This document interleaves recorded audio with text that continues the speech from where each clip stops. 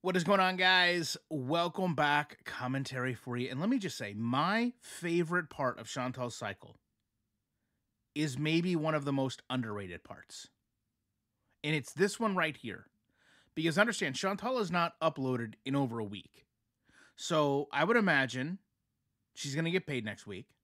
She probably logged in, checked her analytics, and saw that her income was greatly impacted by her doing less videos and more live streams. So rather than do what YouTube tells us to do, which is get back on track, be consistent with your content, put videos out on a schedule, listen to your audience, she panics and she thinks putting out two videos back to back is going to fix everything. It's going to be double the income in a single day. Chantal, that has not worked. That will never work.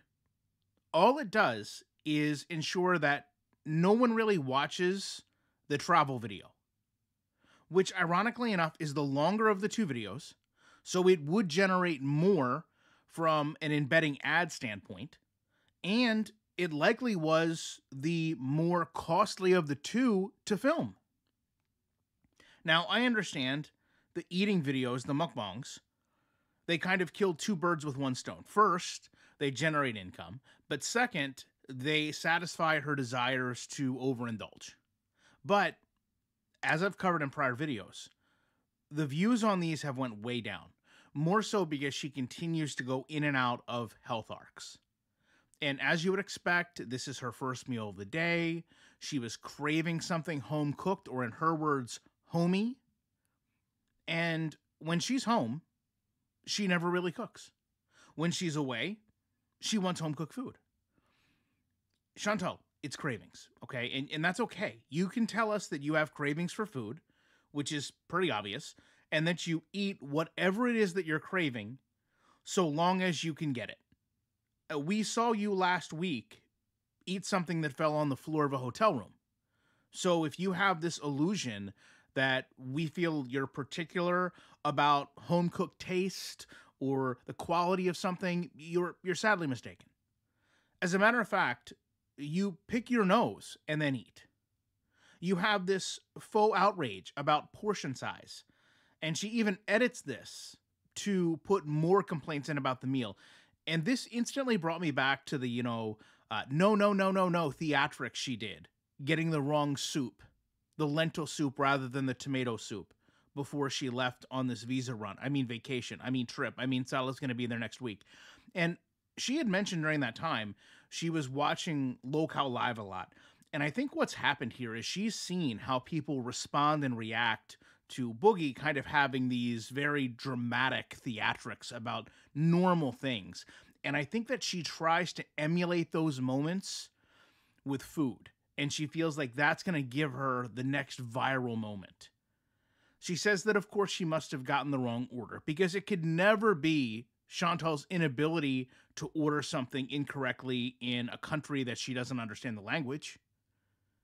She has a soda that she can't open Chantal, you're in a hotel. Call the front desk. I'm sure they have a bottle opener. Of course, she has garlic bread to go with the meal. I wonder if she ever thinks of my channel every time she orders garlic bread.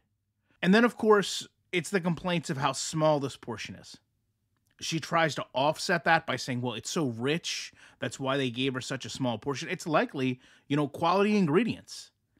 And we can't look at Chantal and think that she cares about quality over quantity. I mean, we've seen her eat eight straight hot dogs from a 7 Eleven out of a microwaved plastic bag with a toothpick.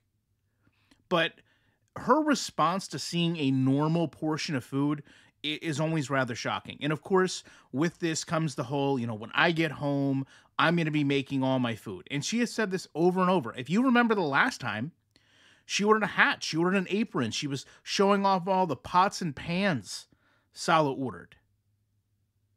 I imagine Salah probably ordered a whole bunch of Dutch ovens for her to use. Then, obviously, she realizes that when she gets home, she can't stop eating the ingredients fast enough to make a meal. She doesn't have the patience to wait for anything to cook. And if she does somehow manage to do both of those, she creates such a large portion that she eats and gets sick It, it literally is like the worst of every world. She says that she's been feeling a lot better, but she thinks she was just homesick before. So Salah, Salah actually told her to go buy the skincare she wanted, but apparently told her she could only buy sample sizes or trial sizes, travel sizes. Who knows? And of course, as a foodie, she says this is, quote, yum. And I've noticed that she wraps her tongue around the spoon in ways I've never seen someone eat. And despite being alone, you know, hoards this food very close to her, very protective of the food. And of course, as we all could have told you, she needs a rest day. I mean, after all, what a grueling trip to the mall. Not one, but two taxi rides.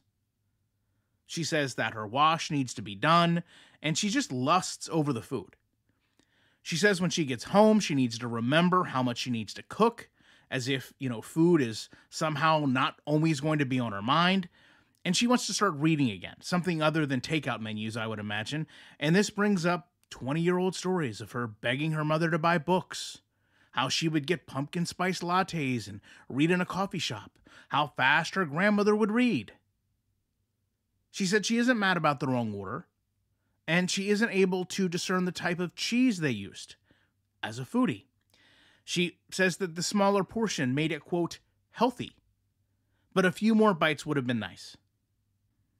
Okay, so this last part I, I want to be careful with because there are two sides to it. Number one, if you order something to go, and this has happened to her in the past, there are times it's going to default to no cutlery unless you actually go and check the box and say, Yes, I need cutlery, because they likely assume you're going to be having it at home.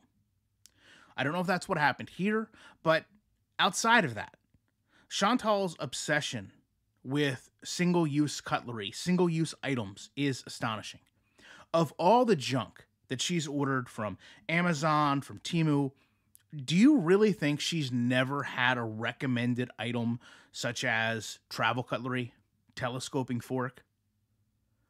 I mean, the fact that she comes online proclaiming to be a foodie and has really nothing continually with her other than her flippers to eat, the fact that we've seen her eat using a back scratcher, I don't understand why she can't take the very, very small step to buy telescoping cutlery, travel cutlery set, something where she knows, hey, when I'm out and about, I don't have to worry about this.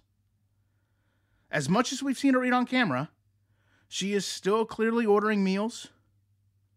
We never see them filmed. She's likely embarrassed. Trash is piling up in the room.